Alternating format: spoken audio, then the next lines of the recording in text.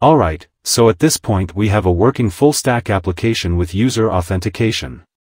So the last thing that we're going to do in this course is see how to release our app so that anybody in the world can access it, right?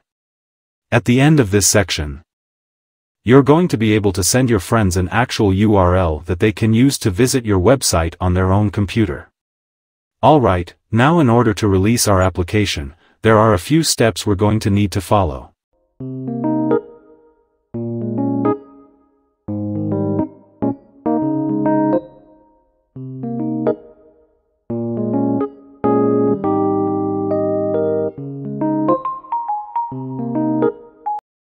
The first thing we're going to need to do is build and serve our front end.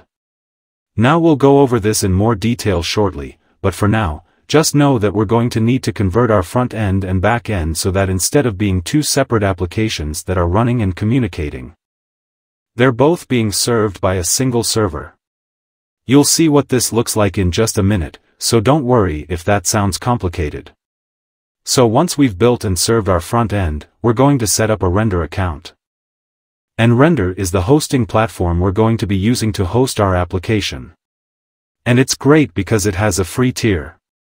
So once we've done that, we're going to be able to make a few small changes to our server.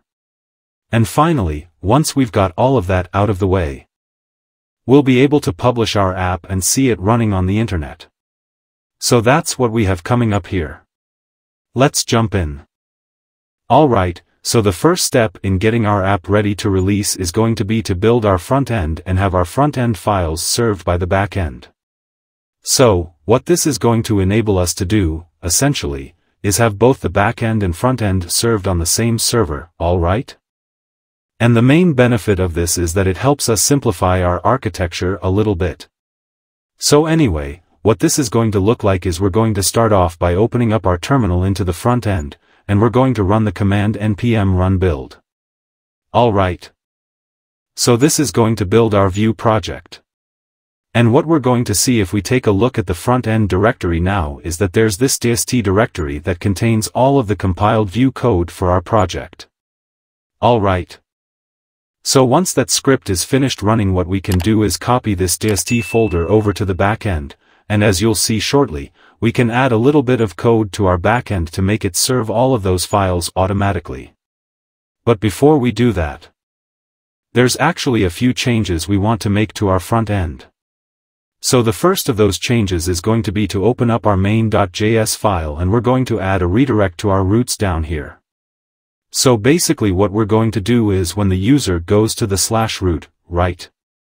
The regular home route, we're going to automatically redirect them to the products. So what we're going to do is say path and we're just going to say the slash root here. And then what we're going to do is add a property called redirect, and that's going to send the user back to slash products. So let's just save that and there we go. And you can always feel free to test this as well just by trying to go to the home root of our application now. But I'm going to keep moving. Now, the next thing we have to do is change the redirect URL that we specified in our product detail page. Right? Because currently the redirect URL is going to take us to our development application running in Codespaces, and that's not what we want. Now, before we can actually know what this URL is going to be, we need to know what URL our application is going to be running on in production. So what you're going to want to do is go to dashboard.render.com, and this is going to require you to perhaps log in and create an account. But once you've done that, you should be able to go to the dashboard and we're going to create a new service on Render. And you can do that by clicking the new button and looking for web service. So we're going to select web service here. Now, the next step in this process is going to be to link this web service with a GitHub repo that we own. So what I'm going to do is link this with the GitHub repo that I've been developing on with Codespaces. And that happens to be this one right here. I'm just going to click connect. And you may need to manually connect this to GitHub yourself. It's a pretty easy process. Alright. So once you've done that, that should take you to a setup form. And the first thing it's going to ask you is what you want to name your web service. Alright, now I'm going to name my web service full stack Vue deployment. But you're probably going to have to name yours something else to make sure it doesn't collide. Alright, so once you've specified the name, what we're going to do is select the region. I'm just going to leave the default selection there. And then you're going to select the branch that you want to deploy. Now, in my case, this is going to be this branch here but yours might be something else and you can even just create a new branch for this deployment if you want to. Next up, what we're going to do is specify the root directory and that's going to be backend, right? The backend is going to be the directory we'll want to run as a web service here. And finally, for the environment, we're going to select node. And then for the build command we're going to say npm install, double ampersand, npx babel src, right? And you're just going to want to type out what you see here.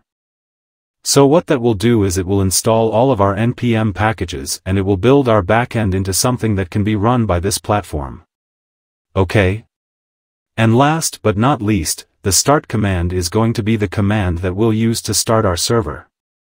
So in our case that's going to be node and then build slash server.js. Just make sure you type out exactly what's here because this should work for our current project setup.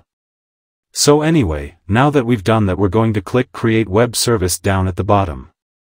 And by the way, you can always change all of those options later on. And it's going to take a minute or two to create our web service, but once it's done it's going to try and build our project and run it. Now, it's probably going to fail right now because we haven't actually prepared our project properly. But the thing we're interested in is going to be this URL up here at the top, right? This is what we're going to want to use as our redirect URL instead of what we had before. So let's copy that address. And if we go back to our IDE, what we're going to do is just replace our previous Codespaces URL, right? All the way up to where we say slash products slash blah blah blah with that new URL. And this is why we had to set up our project first to make sure that we had access to that name and to make sure that we had the URL. So now that we've done that, we should be able to build our front end and move it over to our back end. And then we'll commit this and deploy it with render. Alright, so that should be all we need to do on the front end. The next thing we're going to do is build our front end and see how we can host those files with our back end. Alright, so in order to have our front end files served by our back end, we're again going to have to run the build script inside our Vue front end. So you're going to want to open up a terminal in the front-end directory and run npm, run build. And this will replace any old dist directory that you may have had. Alright, so once that script completes, what we're going to do next is we're going to copy that dist directory over into the root directory of the backend. And I already happen to have a dist directory there. I'm going to delete that. That was just from before. So let's paste the new one inside of there. And now we're going to open up the server file and add a few lines that will enable our server to statically serve those front-end files. So here's what this is going to look like. Underneath where we said app.use for our images path, we're going to say app.use, express.static. Alright, and inside there the arguments we're going to pass will be path.resolve and then we'll say underscore, underscore, directory name and then as a string dot dot slash dist. So this is just helping Express to locate those front-end files. And then after this we're going to say as an object, max age 1y and etag false. And this is just making sure that the front-end serving works correctly. So don't worry too much about the details there. Alright. So now that we've added that app.use, the last thing we're going to do is go down to the bottom of our server, right before we call app.listen and we're going to say app.get. And the path here is going to be a star. Which basically will catch all of the other routes that weren't caught by the above handlers. Okay, and for the callback function here what we're going to do is just say response.send file and then we're going to say path.join underscore underscore. Directory name again and then dot dot slash, dist slash index.html. So what this is doing is it's going to send back the index.html file, which is the main file that the client wants to load from our Vue app for each and every request that isn't handled by an API endpoint. Alright. So now that we've added that, one more thing that we're going to have to do is allow ourselves to pass in the server port as an environment variable, right? This will allow the hosting platform to change the server port as well if it needs to. So what we're going to do is say const port equals process.env.port or we're going to say 8000 and provide that as a backup. So now, instead of hard coding 8000 here, we can just say port and then we'll replace it here as well and say plus port. And that should be all we need to do here. So if you want to try this out, what you can do, is run only the backend directory by saying npm run dev. And what you should be able to do after that is open up the backend in the browser, just like we were able to open up the front end in the browser earlier. So let's take a look at ports after our app is up and running. And what we're going to do is just click this world icon, like so, and that'll take us to the front end. And again, this is being served by the server now. Instead of having a separate front end and back end running at the same time. Alright, so now that everything looks like it's in order on our server, we should be able to publish our app to render, by committing all of the changes we just made and I'm going to do that in another terminal here. Just by saying git add all and then git commit dash m and I'll say prepared app for deploy. Okay. Alright. So now we should be able to push these files and by the way, I'm pushing to that same branch that I selected when we set up our render project. So if there's a specific branch that your render project is watching, you're going to want to push to that one instead. Cool, so now that we've done that, we should be able to go back to our render dashboard and if you look under this events tab here. You should see that a deploy has been started, right? That's this one right here.